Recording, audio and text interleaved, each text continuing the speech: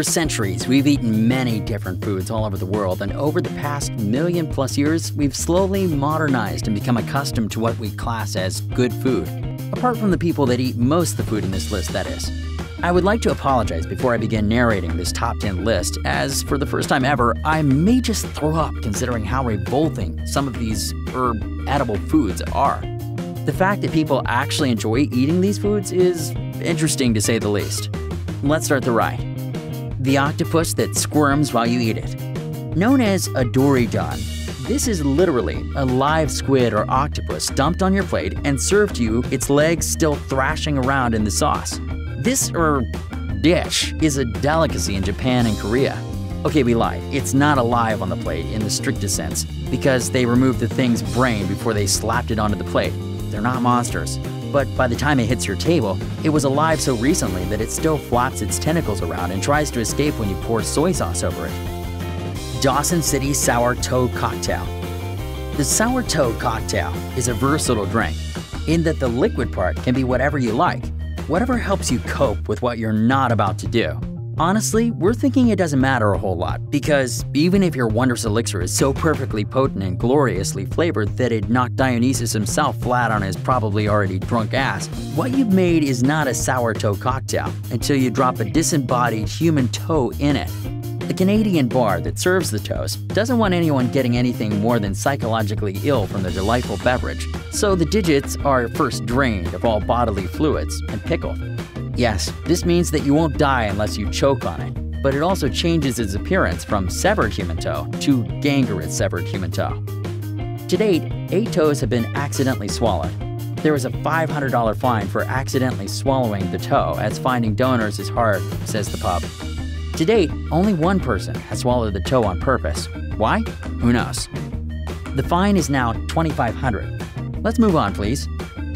Tuna eyeballs. Tuna eye can be found staring up at you in most Japanese stores for less than a pound. Apparently, it tastes a bit like squid, and the eyeball comes surrounded by fish fat and severed muscles that are also meant to be quite tasty. To cook, you simply boil it and then season to taste. Certainly eye catching. Jelly beans are covered in shellac, which is made from bug excretions. Shellac makes things shiny, and shiny jelly beans are nice, so jelly beans are often coated in shellac. Shellac is also made from excretions of the female lac insect. It's not bug poop, exactly, but for the purposes of sensationalism, we're going to say that it is. You eat bug poop. It's inevitable that some insects are going to get into your food, Still, when you see the actual FDA regulations that 10 insects and 35 fruit fly eggs per 8 ounce of raisins is totally cool, it turns your stomach a little. Fruit bat soup. This is really just a colossal middle finger to the concept of food preparation. The bat is rinsed off, boiled, chopped, dipped in coconut milk, and served with some vegetables, if you're really lucky. It's not a bad idea because it offends our delicate sensibilities. It's a bad idea because eating this is a marvelous way to punch holes in your brain. When they're alive, these bats eat plants that are known to cause neurological diseases in humans. So when you take a bat with a belly full of poison seeds and toss it right into your stew, it doesn't take a doctor to figure out what's going to happen next. Smalahove. Sheep's head, or smalahove, is a traditional Christmas dish eaten in Norway. They remove the brain, stick it on the grill or in the oven, and Bob's your uncle. So if you're planning on traveling to Norway next Christmas, just remember the name Smalahove. Otherwise, you might be in for a shocker when your food arrives. The geoduck. Sounds pretty glamorous, right? Like a duck that geographically roamed free and happy and is now being prepared by a Michelin star chef. Nope, it's just a huge oyster that looks like use your imagination. Although the geoduck doesn't look overly appetizing, according to residents of western Washington, where the geoduck is found, it actually tastes very nice and is said to be one of the sweetest sea creatures you can eat. We presume when they said sweet, they are talking about the taste and not looks. Geoduck is usually eaten at an age of 140 years, with the oldest being that of 164 years old. They are also usually eaten alive. Ew.